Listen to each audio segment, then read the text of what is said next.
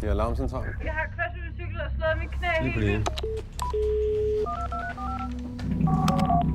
Det er alarmcentralen. Jeg er lige blevet overfaldet af bestjålet. Politiet lige nu. Er du taget narkotika, er det korrekt? Jeg er fange.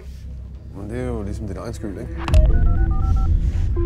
Chef, Du er heldigvis tilbage på gaden efter i morgen. Det er jo dejligt.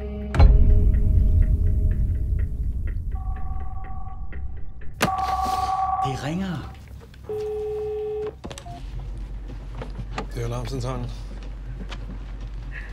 Hallo? Taler jeg med Iben? Hej, skat. Drukket? Nej, det, nej, det har jeg ikke.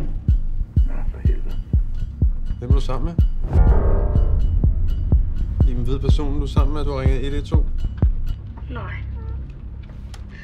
Er du blevet bortført? Ja.